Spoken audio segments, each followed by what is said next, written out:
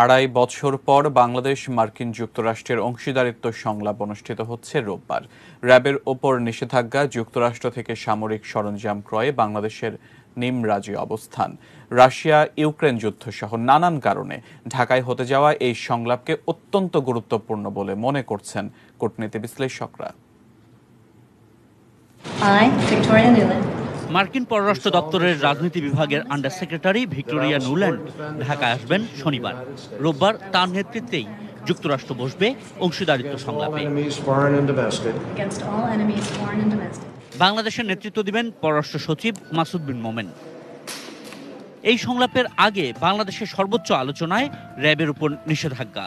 যে কোনো মূল্যে এরকম নিষেধাজ্ঞা আর চায় না বাংলাদেশ। বিপরীতে, যুক্তরাষ্ট্রের দীর্ঘদিনের চাওয়া বাংলাদেশে অস্ত্র বিক্রি।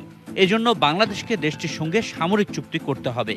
আর লেহি আইনের সংশোধনের কারণে যুক্তরাষ্ট্রের নতুন শর্ত, সামরিক সাহায্য নিলে সেটার ব্যয়ের হিসাব দিতে হবে ওয়াশিংটনকে। এসব বিষয়ে বাংলাদেশ এখনও অবস্থান পরিষ্কার করেনি। আলোচনা যখন হবে অ্যাক্রস দ্য টেবিল সে আলোচনার উপরেই নির্ভর করবে সিদ্ধান্তগুলি। তো একটু অপেক্ষা করতে হবে আপনাদের।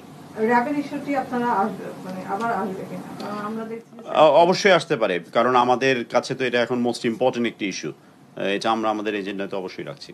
মার্কিন বাজারে বাংলাদেশের তৈরি পোশাকে শুল্কমুক্ত সুবিধার জন্য উন্মুখ হয়ে আছে ঢাকা। বাংলাদেশের এখনও বড় বৈদেশিক বিনিয়োগ আসে যুক্তরাষ্ট্র থেকে। অন্যতম শীর্ষ রেমিটেন্স প্রবাহের উৎসও সে দেশের প্রবাসীরা। সবকিছু বিবেচনায় রেখেই বাংলাদেশ অংশ নিচ্ছে এই সংলাপে। রোহিঙ্গাদের নিয়ে আমরা যে বিড়ম্বনায় আছি, তার আমাদের পক্ষ কিন্তু সবল, বলিষ্ঠভাবে দাঁড়িয়ে আছে মার্কিন যুক্তরাষ্ট্র। আগামী দিনে ধরেন এখন ইন্ডো প্যাসিফিক এলাকায় মার্কিন যুক্তরাষ্ট্রের যে বিশেষ মনোযোগ তাতেও আমরা অর্থনৈতিকভাবে যাতে লাভবান হতে পারি, তার জন্য আমরা ইতিমধ্যে মার্কিনদের সাথে আমরা যুক্ত আছি।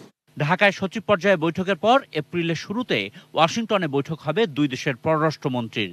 মে মাসে ঢাকায় ব্যবসায়ীদের সংলাপ এবং যুক্তরাষ্ট্রে প্রতিরক্ষা সংলাপ অনুষ্ঠিত হবে। বাংলাদেশ চায় এই চার দফা আয়োজনের মাধ্যমেই বাংলাদেশ যুক্তরাষ্ট্রের সম্পর্কের শীতলতা দূর করতে। এ ধরনের তিনটি বা চারটি প্ল্যাটফর্ম আছে ফোর্থ ট্রেড যুক্ত হয়েছে, যে দুটি বললেন এর সাথে টিকফা আছে এবং নতুন করে ট্রেড ডায়ালগ শুরু, এবং ট্রেডেরও একটা নতুন তারিখ হয়েছে, জুন মাসের প্রথম সপ্তাহে। বুঝি যে আমাদের সম্পর্ক উন্নয়নের আরও সুযোগ আছে। তো আমরা এই বৈঠকগুলিকে সেই লক্ষ্যেই কাজে লাগাবো। এর মাঝে সিদ্ধান্ত আকারে কোন অংশটুকু আসবে that purely depends on the মানে outcome of the very that physical meeting পাশাপাশি এবছরেই মার্কিন রাষ্ট্রপতি জো বাইডেন এবং প্রধানমন্ত্রী শেখ হাসিনার মধ্যে দ্বিপাক্ষিক বৈঠকের চেষ্টাও চলছে। আশিকুর রহমান অপু এটি নিউজ ঢাকা।